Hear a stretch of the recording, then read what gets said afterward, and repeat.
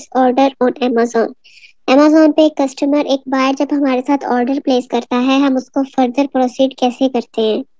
कुछ चीज़ें यहाँ मैं आपके साथ इससे रिलेटेड ऑर्डर प्रोसेसिंग से रिलेटेड डिस्कस करूँगी कि हैंडलिंग टाइम क्या होता है शिपिंग टाइम क्या होता है बायर के साथ हम कांटेक्ट कैसे करते हैं ट्रैकिंग आईडी सबमिट कैसे करते हैं और ट्रैकिंग आईडी को अपडेट कैसे करते हैं?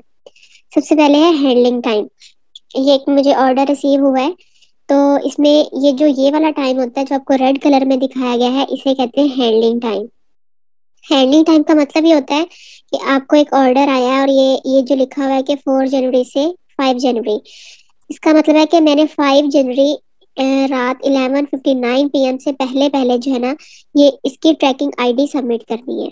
हैंडलिंग टाइम हमें ये डेडलाइन होती है कि इस टाइम के अंदर अंदर हम जो है ये ट्रैकिंग आईडी सबमिट करेंगे. जब हमें एक ऑर्डर आता है, हम थर्ड पार्टी सप्लाई को आगे ऑर्डर फुलफिल करने के लिए उसके साथ ऑर्डर प्लेस करते हैं तो हमें ट्रैकिंग आईडी देता है।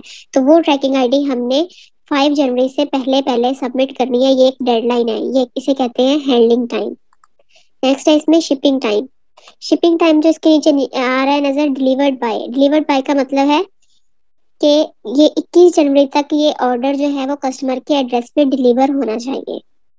ठीक है, जो डिलीवर टाइम होता है उसे हम शिपिंग टाइम कहते हैं। 21 जनवरी 15 जनवरी से लेकर 21 जनवरी के दरमियान ये ऑर्डर कस्टमर के एड्रेस पे डिलीवर होना चाहिए, ये है शिपिंग टाइम नेक्स्ट है how to contact with buyer some time कुछ सर्कमस्टांसिस में हमें बायर के साथ कांटेक्ट करना पड़ जाता है तो हम उसको मैसेज या उसे हम प्रोडक्ट से रिलेटेड मैसेज कैसे करते हैं कि वो ऑर्डर कैंसिल कर दे।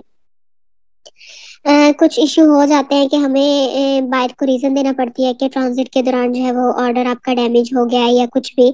तो इस क्योंकि हम खुद ऑर्डर कैंसिल नहीं करते, क्योंकि हमारा कैंसिलेशन रेट बहुत कम होना चाहिए तो इस वजह से हम बायर से कांटेक्ट करते हैं कि वो ऑर्डर खुद कैंसिल कर दे। तो ऑर्डर कैंसिल करने के लिए या बायर से कांटेक्ट करने के लिए हम क्या करते हैं, ये कांटेक्ट बायर लिखा हुआ है, ये इसके नेम के ऊपर आप क्लिक करेंगे। तो आप यहाँ पे देख सकते हैं कि डिफरेंट वो आ रहे हैं कि आप किन चीज़ों पे आप बायर के साथ कांटेक्ट कर सकते हैं? अगर हमने उससे कोई ऑर्डर कैंसिल करवाना है या कोई ऐसी बात करनी है ऑर्डर से रिलेटेड तो आपने इस पे लिखना है अनएक्सपेक्टेड प्रॉब्लम विद ऑर्डर इस पे आपने क्लिक किया, यहाँ पे आपने रीजन लिखनी है।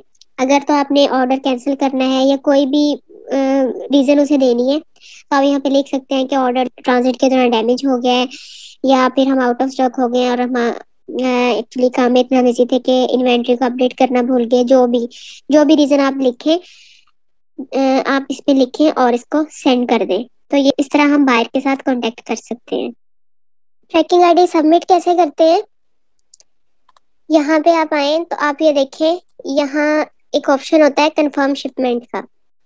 ठीक है? जब आप उस पर क्लिक करते हैं तो आपके पास ये इंटरफेस ओपन होता है।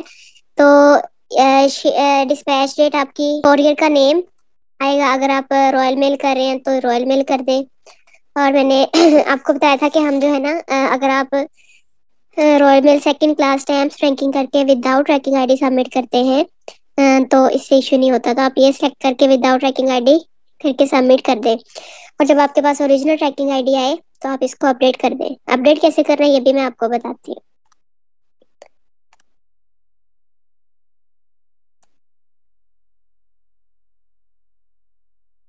नेक्स्ट है इसमें।